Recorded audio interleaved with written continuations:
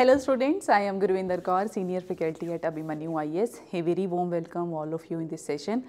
और स्टूडेंट आज हम स्टार्ट करने वाले हैं हमारा जो लेटेस्ट एग्ज़ाम था पीसीएस का 2021 का राइट? उसको हम यहाँ डिस्कशन उसकी स्टार्ट करते हैं और ये हमारा लास्ट प्रीवियस ईयर पेपर है स्टूडेंट राइट? और पेपर की खास बात बता दूँ मैं सबसे पहले उसको डिस्कस करने से पहले इसकी कुछ खास बातें देखिए स्टूडेंट आप सी ईयर वन सेकेंड हाँ जी। सबसे पहले तो जो 2020 में वन में पेपर हुआ हमारा, ठीक है? उस, वो प्रीवियस ईयर पेपर से कैसे डिफरेंट था, ये देखिए। सबसे पहले student facts as compared to other papers facts less थे, कम थे। ठीक है? More align towards UPSC towards UPSC paper मतलब अपने आप को पीसीएस ने अलाइन करने की ट्राई की है किसके साथ? यूपीएससी के जो प्रीलिम्स का पेपर आता है उसके साथ. Third thing more analytical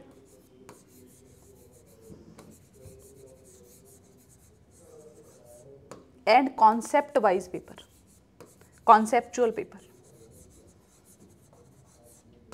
right?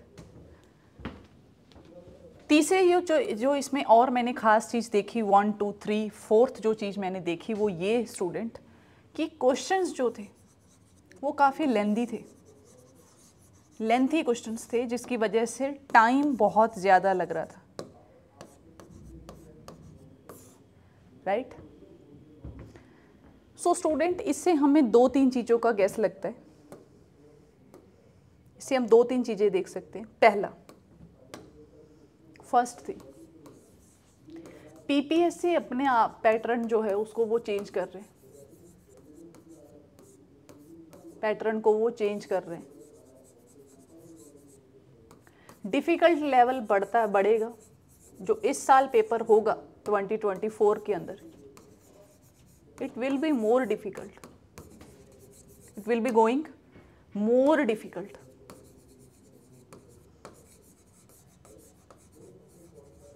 अभी जब हम पीसीएस करेंगे पी वाई क्यू करेंगे, आपको मेरी हर एक बात जो है उस पर यकीन हो जाएगा, बिल्कुल एकदम क्रिस्टल क्लियर आपको क्लियर हो जाएगा कि हाँ जी, जो मैम बोल रहे हैं वो बिल्कुल सही बोल रहे हैं।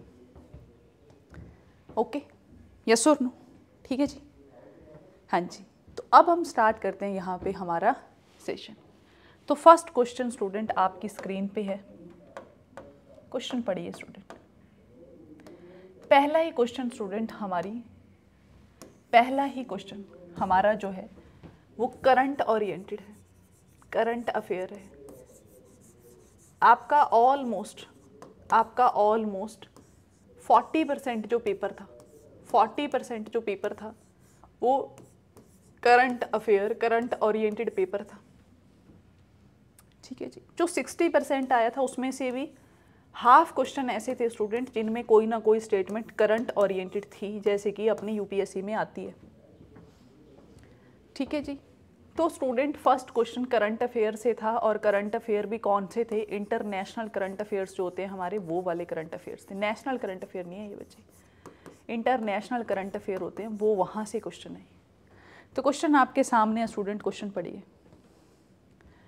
कहता the world health organization has clear declared Africa wild polio free Africa को अभी उन्होंने पोलियो फ्री डिक्लेयर कर दिया किसने? वर्ल्ड हेल्थ ऑर्गेनाइजेशन ने डब्ल्यू एच ओ ने। कहता था disease is now found only in which of the following countries कौन सी कंट्री में अभी भी पोलियो वायरस है स्टूडेंट यहाँ से क्वेश्चन है। तो बताओ कौन कौन सी कंट्री पहला कहता है अफ़गानिस्तान पाकिस्तान दूसरा Afghanistan Kyrgyzstan Uzbekistan Pakistan Kyrgyzstan and Uzbekistan. तो student correct option is first Afghanistan and Pakistan. Afghanistan और पाकिस्तान मात्र दो ऐसी कंट्रीज़ हैं जहाँ पे अभी भी पोलियो वायरस जो है वो प्रेवलेंट है जो अभी भी है। सो so, ये था स्टूडेंट हमारा फ़र्स्ट क्वेश्चन राइट तो सेकंड क्वेश्चन की तरफ़ मूव करते हैं स्टूडेंट ठीक है जी। तो सेकंड क्वेश्चन हमारा डीएनए के ऊपर था साइंस एंड टेक्नोलॉजी का क्वेश्चन था। साइंस एंड टेक्नोलॉजी का क्वेश्चन था बच्चे, जो हमारी एडवांस साइंस है। साइंस एंड टेक्नोलॉजी और उसका भी ये क्वेश्चन था स्टूडेंट बायोटेक्नोलॉजी का। बायोटेक्नोलॉजी का क्वेश्चन था स्टूडेंट प्लस करंट अफेयर था। करंट ओरिएंटेड क्वेश्चन था। मैंने कहा ना आपसे कि दोनों टाइप के मिक्स क्वेश्चन आए हुए थे। किसी कोई मतलब जैसे चार स्टेटमेंट दिए हैं तो एक स्टेटमेंट आपकी करंट अफेयर की होगी, एक स्टेटमेंट आपकी स्टैटिक की होगी तो इस तरीके से उन्होंने क्वेश्चन सेट कर दिया। क्वेश्चन पढ़िए बच्चे। हाँ जी क्वेश्चन पढ़िए। क्वेश्चन क्या है, पढ़िए बच्चे। कहता है which of the following statements are correct correct statement उसने पूछे पहली कहता the DNA technology use and application regulation bill 2019 2019 के अंदर आपका क्या आया था? रेगुलेशन बिल आया था। इसका मतलब ये है कि 2020 में आपका पेपर हुआ और 2019 की उन्होंने करंट अफेयर पूछी है। इसका मतलब एक साल पहले वाली करंट अफेयर क्या है? इंपॉर्टेंट है। For the regulation of the use of the DNA technology for establishing the identity of certain persons. कहता है, एक ऐसा बिल लेकर आए हैं 2019 के अंदर जो रेगुलेट करेगा किसको डीएनए टेक्नोलॉजी के यूज़ को, कि कहाँ कहाँ पे उसको हमें यूज़ करनी है और किस तरीके से यूज़ करनी है, इसको हम रेगुलेट करेंगे। सेकंड ऑप्शन पढ़िए बच्चे। सेकंड में कहता है कहता है DNA is made up of 26 pairs of chromosome कहता जो डीएनए है, वो 26 पेयर्स ऑफ़ क्रोमोसोम्स में बटा हुआ है and provide instructions for building an entire organism and protein third option पे वो बोलता है, कहता है DNA is compose of two chain कहता है डीएनए के अंदर दो चेन होती हैं which coil around each other जो दोनों आपस में क्या होती हैं कॉयल की होती हैं मतलब कि एक चेन है और वहीं पे दूसरी चेन भी इस तरीके से कॉयल है। ये एक डबल हेलिकल मॉडल है। जेनेटिक इंस्ट्रक्शंस देता है for the growth third statement में कहता है कहता है under the bill DNA profiling is allowed only only कहता है only in respect of the criminal matter सिर्फ़ क्रिमिनल मैटर में ही आप क्या कर सकते हो? डीएनए प्रोफाइलिंग कर सकते हो।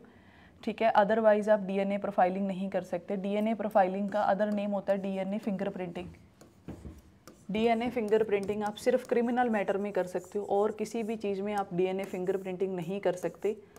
ये आपका क्वेश्चन है। ठीक है। तो इस क्वेश्चन को समझने के लिए स्टूडेंट आपको सबसे पहले तो थोड़ा बेसिक पता होना चाहिए कि what is DNA chromosome gene DNA fingerprinting क्या चीज़ है। ठीक है? तो सी ईयर स्टूडेंट इस थोड़ा सा पेशेंस रख के बैठिए स्टूडेंट मैं आपको काफ़ी चीज़ें समझाऊँगी, आपको समझना है। ठीक है जी? तो समझिए बच्चे। आते हैं। चलो जी, समझते हैं फिर इसके बारे में। ठीक है? सी हेयर सबसे पहले आप समझिए DNA what is DNA DNA क्या चीज़ है? सी हेयर स्टूडेंट चाहे हम एक क्वेश्चन करें, चाहे करें दो, चाहे करें दस, चाहे करें बीस, जहाँ पे बात डिटेल डिस्कशन की होगी, फिर चाहे हम पूरे सेशन के अंदर एक क्वेश्चन ही क्यों ना डिस्कस करें डजेंट मैटर ठीक है? हमारा यहाँ पे जो पर्पज़ है, वो पी वाई क्यू के आंसर बताना नहीं है, वो तो आप डाउनलोड करके कहीं से देख लो। ना ही आपको मेरा ये पर्पज़ है कि आपको मैं क्वेश्चन पढ़ा दूँ और आप उसको देख लो। क्वेश्चन तो आप भी पढ़ लोगे, बच्चे क्वेश्चन पढ़ने में क्या है? बात ये है कि उस क्वेश्चन से रिलेटेड जो भी बेसिक्स हैं, उसको आप समझो राइट फिर आप उस क्वेश्चन को सॉल्व करो ताकि आपको पता चले कि हाँ जी, किसी भी क्वेश्चन को सॉल्व करने के लिए कितनी ज़्यादा नॉलेज की ज़रूरत है। ठीक है? ये बात आपको क्लियर है? ठीक है जी। तो क्वेश्चन समझते हैं। First of all student what is DNA ये समझो आप। पहले तो यही पता होना चाहिए कि भाई डीएनए है क्या? क्या बीमारी है ये? ठीक है तो समझिए इस चीज़ को। सीयर स्टूडेंट हर एक, जो भी हमारी लिविंग ऑर्गेनिज्म है, कोई भी लिविंग ऑर्गेनिज्म है, वो किससे बना हुआ है? सेल से बना हुआ है। ये स्किन है, इसके अंदर कौन? Trillions of millions of skin cell आपस में जुड़ जुड़ के, पूरी स्किन की एक लेयर बना रखी और हर सेल के अंदर स्टूडेंट प्रेजेंट होता है न्यूक्लियस ये बात आप सबको आई थिंक सबको पता होगी। इसमें होता है न्यूक्लियस और न्यूक्लियस में स्टूडेंट एक चीज़ होती है हमारी, वो होता है हमारा डीएनए वो होता है हमारा डीएनए अब ये डीएनए है क्या चीज़? ये एक तरीके की स्टूडेंट जेनेटिक मटेरियल है. व्हाट इज़ जेनेटिक मटेरियल तो सी यर स्टूडेंट जेनेटिक मटेरियल का ये मतलब है स्टूडेंट कि आपने देखा होगा कि आपकी शक्ल आपके पेरेंट्स से मैच करती है। उनकी शक्ल उनके पेरेंट्स से मैच करती है है ना? आपके अंदर जितने भी कैरेक्टरिस्टिक्स हैं, आपके जो फेशियल एक्सप्रेशंस हैं, वो आपके पेरेंट्स के साथ मैच करते हैं। हाउ इज़ दिस पॉसिबल वो जो कैरेक्टर है, वो आपके तक तक आए कैसे? क्या ऐसी चीज़ थी स्टूडेंट जो हु आपके अंदर कॉपी होगी जैसे मेरी आइज़ हैं, मेरी आइज़ मेरी मदर जैसी हैं, मेरी मदर की आइज़ हैं ऐसी, बिल्कुल। तो ये जो मेरी मदर की आइज़ मेरे अंदर कॉपी हो गई। How how is this possible कैसे हो गई कॉपी बिल्कुल एज इट इज़ वैसे कैसे बन गई मेरी आइज़ मेरी मदर की तरह। फ़र्क क्यों नहीं आया? है ना? Due to our DNA DNA student एक ऐसी चीज़ है। डीएनए एक ऐसा मटेरियल है स्टूडेंट जो जेनेटिक इन्फॉर्मेशन को आगे फर्दर जनरेशन के अंदर वो पास करता है। मतलब कि जो हमारा जेनेटिक इन्फॉर्मेशन है, उसको वो वन जनरेशन से दूसरी जनरेशन में पास होने में हमें हेल्प करते हैं। इसका मतलब जो भी कैरेक्टर होगा, आपके अंदर, जैसे आप एग्ज़ाम पॉइंट ऑफ़ व्यू से इंपॉर्टेंट हर चीज़ आप एक नोटबुक में लिख कर रख रहे हो। रख रहे हो ना? आपको ये प्रिंटेड फॉर्म में आप निकलवा सकते हो। मेरी हर एक बात को आप कॉपी के ऊपर नोट कर रहे होगे। तो क्या कर रहे हो स्टूडेंट आप? आप जो भी इंफॉर्मेशन है, उसको आप एक कोड की फॉर्म में लैंग्वेज का एक तरीके का कोड ही तो है, उस कोड की फॉर्म में आप उसको क्या कर रहे हो स्टोर कर रहे हो, उस इन्फॉर्मेशन को। तो बिल्कुल वैसे स्टूडेंट हमारी बॉडी की जितनी भी इन्फॉर्मेशन है एज सिंपल एज मैं आपको समझा रही हूँ student please try to understand बस पेशेंस रखिए आप, थोड़ा सा पेशेंस रखना बच्चे। जितनी भी आपकी इन्फॉर्मेशन है आपकी बॉडी के अंदर, आपकी आइज़ का कलर आपके बालों का कलर आपकी स्किन का कलर आपकी जो आपकी वॉइस है, उसकी टोन है ना? आपका बिहेवियर आपके, आपकी खाने पीने की हैबिट्स आपका नेचुरल जो आपका बिहेवियर है, उन सब की इन्फॉर्मेशन उस हर एक चीज़ की इन्फॉर्मेशन हमारे डीएनए के ऊपर स्टोर है स्टूडेंट डीएनए के ऊपर क्या है? स्टोर है कोड फॉर्म में. स्टोर है किस फॉर्म में? कोड फॉर्म में। जैसे हम कोडिंग की फॉर्म में लिख लेते हैं हर चीज़। लैंग्वेज क्या स्टूडेंट कोड ही तो है ए बी सी आप वर्ड को जोड़ के, जैसे मेरा नाम गुरविंदर है तो गुरविंदर को मैं लिखती कैसे हूँ? बोलती हूँ मैं गुरविंदर, लिखती कैसे हूँ? G U R V I N D E R तो ये जो इन्फॉर्मेशन है, गुरविंदर वाली जो इन्फॉर्मेशन है, इसको मैंने एक कोड में लिखी है स्टूडेंट है ना? जो हमारे लेटर हैं। तो बिल्कुल वैसे ही स्टूडेंट हमारा क्या है? जेनेटिक मटेरियल है डीएनए है। डीएनए स्टूडेंट दो स्टैंड्स हैं इस तरीके से स्पाइरल फॉर्म में। और वो आपस में इस तरीके से जुड़े हुए हैं और बीच में स्टैंड्स हैं जो दोनों स्टैंड्स को क्या करता है? जो ये दोनों स्पाइरल हैं, उनको आपस में जोड़ के रखता है। और इसी के ऊपर स्टूडेंट हमारे कोड है।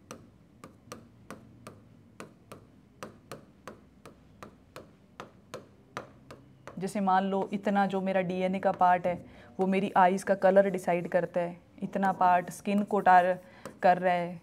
इतना पार्ट जो है वो मेरी यू नो know, जो मेरी वॉइस है या जो मेरी हाइट है उसको डिफ़ाइन कर रहे हैं। सारी इन्फॉर्मेशन तो आगे यही इन्फॉर्मेशन आगे की जनरेशन में क्या होगी स्टूडेंट कॉपी होगी। एज इट इज़ ये सुर नो ठीक है? ये बात इतनी बात समझ आई आपको कमेंट बॉक्स में लिखो यस और नो ठीक है, अगर इतनी बात समझ में आ गई तो आगे समझिए आप। आगे समझिए बच्चे, देखिए। अभी आपको ये बात तो समझ में आ गई कि डीएनए है क्या। डीएनए क्या है, ये बात समझ में आ गई आपको। अब आप समझो क्रोमोसोम क्या है। ये क्रोमोसोम कौन सी बला आ गई अब? क्रोमोसोम कुछ नहीं है बच्चे।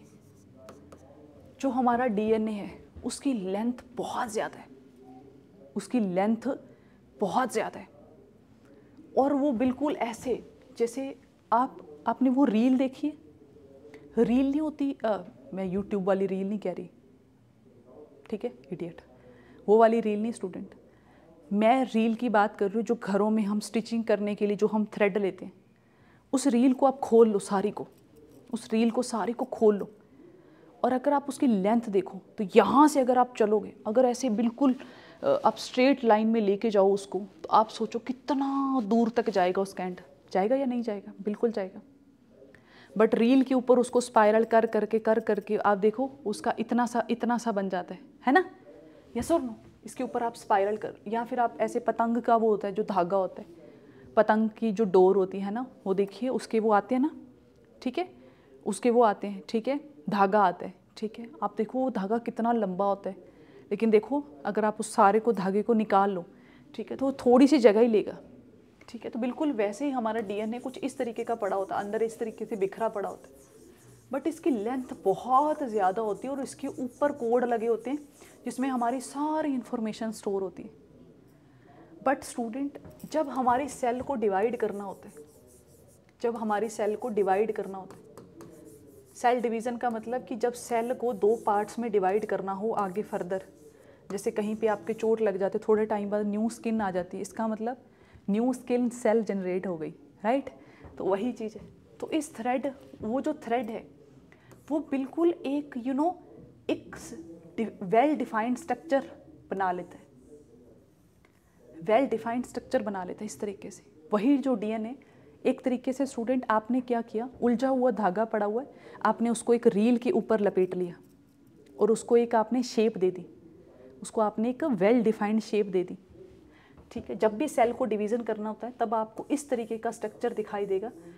और ये है डीएनए तो इसको मैं बोल सकती हूँ कंडेंस फॉर्म ऑफ़ डीएनए क्या बोल सकती हूँ student condense form of DNA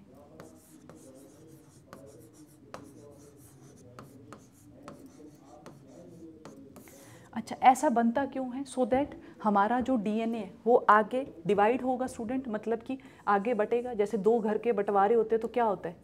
आप क्या करते हो? इक्वल इक्वल चीज़ें बांट देते हो। दो कटोरी इधर, दो कटोरी मेरी। दो कटोरी तेरी, दो कटोरी मेरी। दो गिलास तेरे, दो गिलास मेरे। करते हैं ना ऐसे बंटवारा? तो सेम ये जो क्रोमोसोम है, इसको क्या करते हैं हम? हाफ़ क्रोमोसोम इसको दे देते हैं और हाफ़ क्रोमोसोम इसको दे देते हैं। तो दोनों में डिवीज़न होगी ना? बट जैसे ये धागा पड़ा होता, अगर मैं इसकी डिवीज़न करूँ भी, बीचों बीच तो हो सकता है स्टूडेंट थोड़ा धागा इधर ज़्यादा चला जाए, थोड़ा इधर कम चला जाए तो कुछ पता नहीं चलेगा आपको। उलझी हुई रील पड़ी हो ये मान लो आपके पास धागा पड़ा है, आपको कहा जाए कि आधा धागा जो है वो आप इसको काट के दे दो, आप कैसे दोगे उसको? अगर आप बीचों बीच से अगर तोड़ोगे भी उसको, ठीक है तो हो सकता है किसी के पास धागा ज़्यादा चला जाए, किसी के पास कम चला जाए। तो सेम हमारा डीएनए स्टूडेंट जब हम उसको जब उसको सेल की जब डिवीज़न होनी होती है, उस टाइम पे वो एक प्रॉपर शेप ले लेता है रॉड टाइप शेप ले लेता है, ठीक है?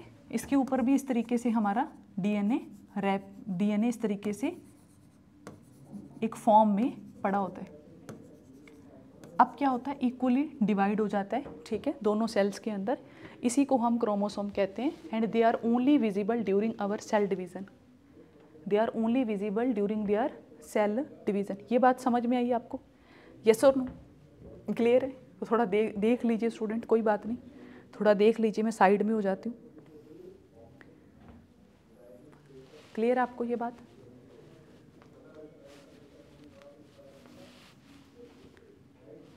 डन है? ठीक है बच्चे। तो ठीक है। क्वेश्चन को पढ़ते हैं स्टूडेंट ध्यान से वापस से पढ़ते हैं। हाँ जी। अब आपको क्वेश्चन समझ में आ रहा हो। अच्छा 2019 में वो बिल लेकर आए, बिल्कुल सही स्टेटमेंट है, बिल्कुल सही स्टेटमेंट है। सेकंड स्टेटमेंट देखिए, कहता है DNA is made up of 23 three pairs of chromosome नहीं बच्चे, हमारी, हमारे अंदर 23 थ्री पेयर्स प्रेजेंट होते हैं स्टूडेंट क्रोमोसोम्स के। जैसे पेयर्स मैंने बना के नहीं दिखाई आपको इस तरीके के। इस तरीके के स्टूडेंट हमारे पास 23 पेयर्स होते हैं।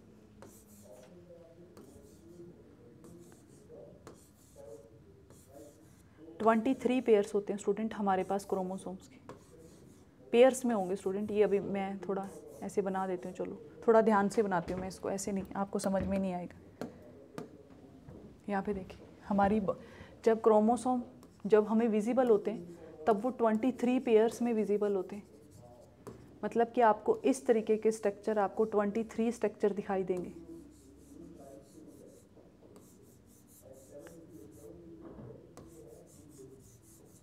इस तरीके के आपको 23 पेयर्स दिखाई देंगे।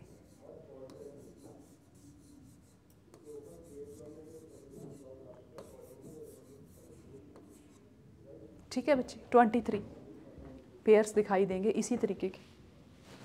क्लियर आपको? तो टोटल क्रोमोसोम कितने होंगे? पेयर में ट्वेंटी थ्री हैं और वैसे कितने होंगे? फोर्टी सिक्स होंगे। यस सुन लो अगर सिंगल सिंगल की बात करूँ तो ये ऑप्शन तो हो गया हमारा गलत। नेक्स्ट देखते हैं। कहता है DNA is compose of two chains which coil हाँ जी, बिल्कुल डीएनए जो है वो इस तरीके से दो चेन होती है, जो कॉयल की होती है। बिल्कुल सही स्टेटमेंट है। नेक्स्ट देखते हैं। कहता है under the bill DNA profiling is only allowed in case of criminal नहीं नहीं बच्चे, ऐसा बिल्कुल नहीं हो सकता। डीएनए फिंगरप्रिंटिंग तो आपको पता ही होगा। डीएनए मैच जैसे देखो बच्चे, मेरा डीएनए किसके साथ मैच करेगा? मेरा डीएनए मैच करेगा मेरे पेरेंट्स के साथ और मेरे मेरे ब्रदर सिस्टर के साथ। यस और नो आपका डीएनए आपके पेरेंट के साथ मैच करेगा और आपके ब्रदर सिस्टर के साथ। यस और नो अभी आपका डीएनए और मेरा डीएनए मैच नहीं करेगा right because we both are different ठीक है? डिफरेंट फैमिली से हम बिलोंग करते हैं। तो डीएनए मैच नहीं करेगा बट अच्छा मान लो किसी का मर्डर हो गया किडनैपिंग हो गई। चलो ठीक है वो तो एक क्रिमिनल केसेस है वहाँ पे तो आप डीएनए फिंगरप्रिंटिंग करते ही करते हैं। फॉर एग्जांपल मान लो दो पेरेंट्स हैं वो दो बच, एक बच्चा है उस पर क्लेम कर रहे हैं। एक कह रहा है कि ये मेरा बच्चा है दूसरा कह रहा है नहीं ये मेरा बच्चा है। तो कैसे पता चलेगा कि उसके रियल पेरेंट्स कौन है? By DNA fingerprinting DNA fingerprinting से हमें ये पता चलेगा स्टूडेंट कि कौन सा पेरेंट रियल है क्योंकि जो रियल होगा उसी के साथ उसका डीएनए क्या करेगा? मैच करेगा? यस और नो अच्छा मान लो कहीं पे कोई आ, कोई भी ऐसा सिविल केस है कहीं पे मान लो चोरी हो गई बहुत बड़ी चोरी हो गई अभी आपको वहाँ पे देखना है कि हाँ जी आपको वहाँ पे फिंगरप्रिंट्स मिले अभी आपको ये देखना है कि हाँ जी मान लो आप किस वहाँ पे कोई भी सैंपल मिल गया ब्लड का मिल गया स्किन का मिल गया हेयर का मिल गया है ना? उससे आप ये पता लगा सकते हो मान लो आपने दस बंदे पकड़े है ना? अभी सस्पेक्ट तो दस है दस के दस ही हैं। बट हाँ आप ऐसे कर सकते हो कि डीएनए मैच करके आप उसमें से जो भी यू you नो know, आपका जो भी कल्प्रिट होगा उसको आप पकड़ सकते हो। ठीक है? तो सिविल केसेस में भी आप जो है वो डीएनए फिंगरप्रिंटिंग कर सकते हैं। ऐसा नहीं है कि आप सिर्फ़ और सिर्फ़ क्रिमिनल मैटर्स में ही डीएनए फिंगरप्रिंटिंग करें। यस और नो ये बात क्लियर हुई आपको? ठीक है जी। तो ये ऑप्शन भी आपका क्या जाता है? गलत जाता है। तो बचा क्या? बचा क्या? वन एंड टू थ्री भी गलत हो गया फोर भी गलत हो गया वन एंड टू ही हो गया।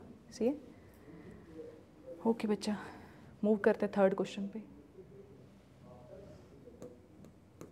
हाँ जी. थर्ड क्वेश्चन पे. कहता है recently the union ministry of commerce and industry launched launched national G I C G I S enabled land bank system which of the following system are correct about this system correct पूछा student अब बताइए आप मेरे को। पहला कहता है, पहला कहता है the platform is created to provide the data base of industrial clusters of South India कहता है, ये इसलिए बनाया सो दैट हम साउथ इंडिया की जितनी भी इंडस्ट्रियल हैं, उनका एक क्लस्टर बना सके, उनका हमें डेटाबेस मिल सके। ठीक है जी। फिर दूसरा कहता है the information available the information available on the platform includes includes information about the forest drainage raw material, heat map ठीक है and multiple layers of connectivity अच्छा थर्ड में कहते कहते it will help India in achieving its target of five trillion US dollar in next five year in five year by providing transparent mechanism of land identification and procurement अब इसका correct option पूछा है आपसे student ठीक है तो अभी आप अगर ध्यान दो बच्चे अगर आप ध्यान से देखो तो वन ऑप्शन पे आओ. कहता था platform is created to provide the database of industrial clusters of over South India सिर्फ़ साउथ इंडिया का ही हम करेंगे। ऐसा पॉसिबल ही नहीं है स्टूडेंट कि आप इतना बड़ा G I S enabled land bank system बनाओ और उसमें सिर्फ़ आप साउथ इंडिया की इंडस्ट्रियल क्लस्टर का डेटाबेस कलेक्ट करो। नहीं, ऐसा नहीं हो सकता स्टूडेंट तो फ़र्स्ट ऑप्शन आपका होता है गलत। अगर फ़र्स्ट ऑप्शन आपका गलत है तो ये भी गलत, ये ये नहीं, ये भी गलत, ये भी गलत तो बचा क्या आपका? बी बचा two and three two and three बचा स्टूडेंट। ठीक है? ये बात क्लियर हुई आपको? ठीक है जी। सो फोर्थ क्वेश्चन पे मूव करते हैं स्टूडेंट हाँ जी। कहता है कंसीडर द फॉलोइंग स्टेटमेंट पहला कहता है, Pratiksha. Pratiksha is the India's first marine ambulance launch by Kerala government second option कहता है कहता है it aims to save the endangered Indian mark mackerel and olive ridley turtles from poaches of the Kerala coast. ठीक है? आपको नहीं लगता ये दोनों स्टेटमेंट आपस में कॉन्ट्राडिक्टरी हैं? परीक्षा ये उस टाइम का ना करंट अफेयर का क्वेश्चन है स्टूडेंट ये करंट अफेयर का क्वेश्चन है। मैं कह रही हूँ आपसे करंट अफेयर भर भर के पूछे उन्होंने। ऐसा नहीं था कि रीजनल करंट अफेयर उन्होंने सिर्फ़ यू you नो know, अपने पंजाब से पूछे। नहीं अगर कोई रीजनल करंट अफेयर किसी का और स्टेट का अगर फ़ेमस है, ठीक है, वहाँ पे वो काफ़ी न्यूज़ में रहा और वही करंट अफेयर नेशनल न्यूज़पेपर्स ने भी कवर किया, तब भी उन्होंने उस क्वेश्चन को वहाँ पे पूछा। आप देखना आगे चल के उड़ीसा के बारे में क्वेश्चन आए हुए हैं, आंध्र प्रदेश पे क्वेश्चन आए हैं, वहाँ से आपको आइडिया लगेगा स्टूडेंट कि क्वेश्चन जो हैं वो काफ़ी अच्छे पूछे गए बाकी स्टेट से भी। तो देखिए। तो इसमें पहली स्टेटमेंट बिल्कुल सही है कि मरीन एंबुलेंस चलाने वाला पहला स्टेट जो है वो हमारा केरला गवर्नमेंट ही है। But not for the sewage of student endangered turtle from poachers actual में जो मरीन एंबुलेंस हमने लॉन्च की है स्टूडेंट वो लॉन्च की है स्टूडेंट जो भी सी के अंदर स्टूडेंट जो भी यू you नो know, नाव लेके जाते हैं जो अपनी शिप लेके जाते हैं कई बार क्या होता है लोकल मछुआरे जो होते हैं ना स्टूडेंट वो कई बार क्या होता है अंदर वो उन पर कोई एक्सीडेंट हो जाता है कोई मिस हैपनिंग हो जाती है। जिसकी वजह से होता क्या है स्टूडेंट्स वहाँ पे काफ़ी ज़्यादा यू नो जब तक वो कोस्ट तक पहुँचते हैं तब तक क्या होता है स्टूडेंट उनको कोई मेडिकल हेल्प नहीं मिलती। सो so, इसके लिए केरला गवर्नमेंट ने एक मरीन यू नो यहाँ पे एंबुलेंस चलाई है जिसका मेन पर्पज़ है स्टूडेंट कि सी के अंदर जो भी मछुआरे जा रहे हैं जो भी फिशरमैंस जा रहे हैं अगर कोई मिस हैपनिंग हो जाती है तो उनको जल्दी से जल्दी मेडिकल एड उनको सर्व की जाए। ठीक है जी? ओके जी? ठीक है जी? तो करेक्ट ऑप्शन बनेगा हाँ अच्छा इसमें से इसने आई इनकरेक्ट पूछा है बच्चे। इसने इनकरेक्ट पूछा है तो इनकरेक्ट स्टेटमेंट है हमारी ओनली टू इनकरेक्ट पूछा है बच्चे करेक्ट नहीं पूछी। पहली स्टेटमेंट करेक्ट ही है। तो बी ऑप्शन हमारा क्या है, यहाँ पे इनकरेक्ट है। ये बात आपको क्लियर हुई है और नो ठीक है जी? ठीक है बच्चे। ठीक है जी। तो क्वेश्चन तो हमने कर काफ़ी कम किए हैं बट हाँ डिटेल फॉर्म में किए, इसलिए हमारा यहाँ पे यू नो काफ़ी ज़्यादा टाइम भी चला गया। But this is the right method student P Y Q करने का यही एक ऐसा तरीका ही होना चाहिए। हर एक स्टूडेंट को इसी अप्रोच के साथ पी वाई क्यू को हैंडल करना चाहिए।